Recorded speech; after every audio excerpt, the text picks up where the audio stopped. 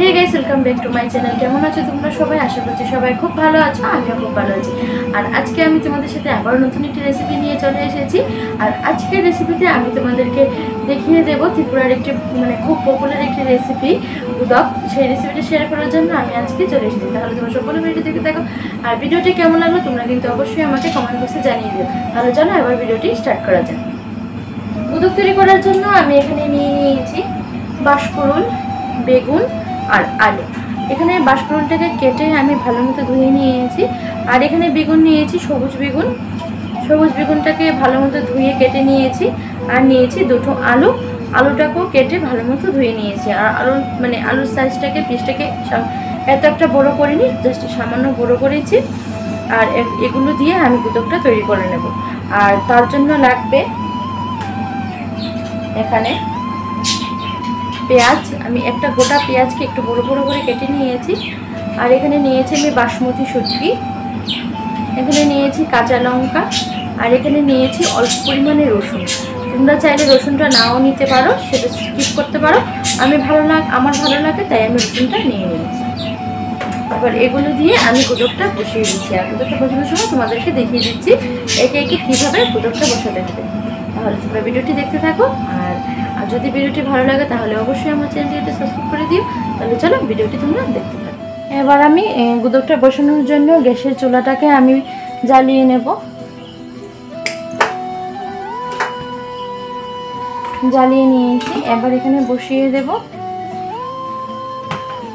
Pressure cooker আমি এটা pressure কুকারে রান্না করব।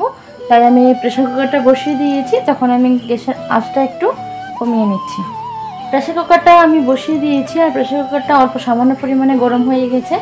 এবার দিয়ে দেবো জল। জলটা একদম সামান্য পরিমাণে দিতে হবে। একদমই সামান্য পরিমাণে জল। শুধু সেদ্ধ হওয়ার জন্য। তার জন্য আমি দিয়ে দিয়েছি এখানে একদম সামান্য পরিমাণে জল। অল্প করে জল দিয়ে দিয়েছি। এই যে জলের পরিমাণটা কতটুকু দিয়েছি সেটা আমি তোমাদেরকে দেখিয়ে দিলাম। একদম অল্প পরিমাণে দিয়েছি। সেই অল্প পরিমাণে জলটা দিতে হবে। এবার জলটাকে একটু গরম করে নিচ্ছি। গরম করে আমি এখানে দিয়ে দেব নুন। জলটা হালকা একটু গরম করে নিতে হবে। এবার দিয়ে দিলাম নুন।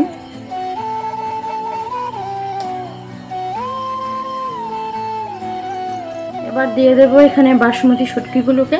আর বাসমতি শুটকিটা কিন্তু আমি ভালো মতো ধুয়ে নিয়েছি। এবার দিয়ে দিলাম শুটকিটা।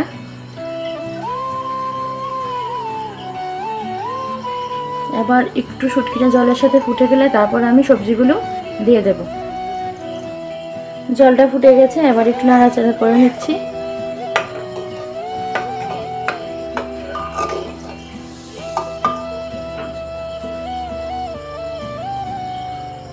ফুটকির সাথে জল ভালোভাবে ফুটে গেছে। এবার দিয়ে দেব পেঁয়াজ, রসুন, কাঁচা লঙ্কা এগুলোকেও কিন্তু আমি ভালো মতো ধুয়ে নিয়েছিলাম। দিয়ে দিলাম পেঁয়াজ, লঙ্কা, রসুন আর কাঁচা লঙ্কাকে। এবার দিয়ে দেব সবজিগুলো, তার জন্য প্রথমে দিয়ে দিলাম বাঁশকুড়ুল একে একে সব সবজিগুলো দিয়ে দেব।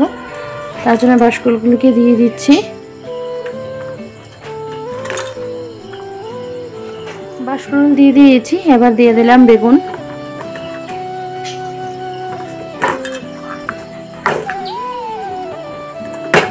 এবার দিয়ে দেবো আলুগুলোকে। আমার সব সবজিগুলো দেওয়া হয়ে গেছে। এবার একটু হালকা করে আমি সব সবজির সাথে মানে জলটা মিশ নাড়াচাড়া করে আমি প্রেশার করে ঢাকাটা লাগিয়ে দেব।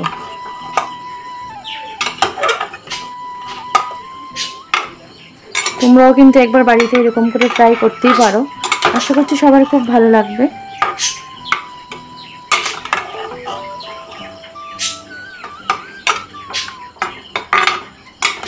মোটামুটি মিশিয়ে নিয়েছি সব কিছু এবার প্রেশার কুকারের ঢাকাটা আমি বদ্ধ করে দেব। এবার প্রেশার কুকারের ঢাকাটা আমি বদ্ধ করে দিচ্ছি। কুকারের ঢাকাটা আমি বদ্ধ করে দিয়েছি। এবার চারটা সিটি আসা পর্যন্ত অপেক্ষা করতে হবে। তাহলে তোমার সম্পূর্ণ ভিডিওটি দেখতে থাকো। হওয়ার পর, গুদকটা হওয়ার পর কেমন হবে সেটাও আমি তোমাদেরকে দেখিয়ে দেবো।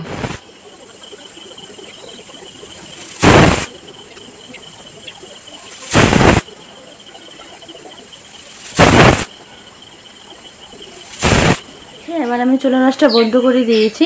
কিছুক্ষণ পর খুলে তোমাদেরকে আমি দেখিয়ে দেব, তারপর কি করতে হবে। এবার প্রেসার কুকারের ঢাকাটা আমি খুলে দিচ্ছি।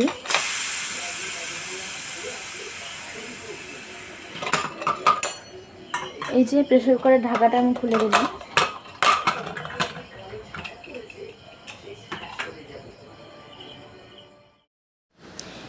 এবার এই বাটিটাতে সবজিগুলো নামিয়ে নেব। এখন ঝোল নামাবো না, শুধু সবজিগুলি নামিয়ে নেব। নিয়ে ভালো মতো গ্লাস দিয়ে থেতো করে নেব। তারপর আমি ঝোলটা মিশিয়ে নেব।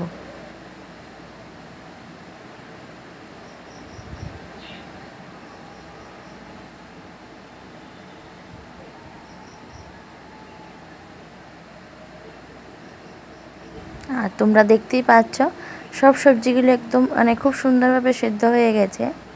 আর এটাতে কিন্তু কোনো রকম তেল, মশলা কিছু দেওয়া যায় না। যেগুলো দিয়েছি শুধু এগুলো দিয়েই করতে হয়। খেতে কিন্তু ভীষণ দারুণ লাগে খেতে।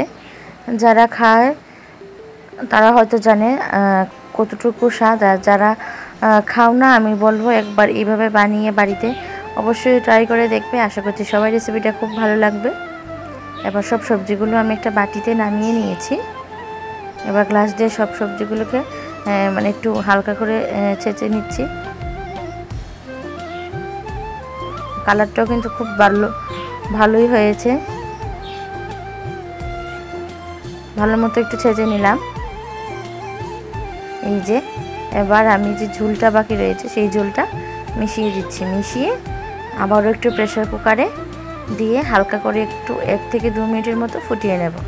ফুটিয়ে নামিয়ে নিলেই তৈরি এই সুস্বাদু ঝাল ঝাল কুদক যে প্রেশার কুকারে ঢেলে দিলাম। এবার গ্যাস, এর গ্যাসটা জ্বালিয়ে আমি প্রেশার কুকারটা বসিয়ে দেবো কুদকটা এক দু মিনিট ফুটার জন্য। এই যে কি সুন্দর ফুটে উঠেছে। এবার একটু নাড়াচাড়া করে চুলা রাসটা বদ্ধ করে দেব আর বাটিতে নামিয়ে তোমাদেরকে দেখিয়ে দেব কেমন হয়েছে আর কতটুকু পাতলা হয়েছে, কতটুকু ঘন হয়েছে, সেটা নিশ্চয়ই তোমরা দেখতে পাচ্ছ। সেই অনুযায়ী তোমরাও নামিয়ে নেবে। এবার বাটিতে নামিয়ে নিচ্ছি। আর এটা কিন্তু একটু ঝাল হয়। ঝাল না হলে ভালো লাগে না। তাই একটু মরিচটা বেশি পরিমাণেই দিতে হবে।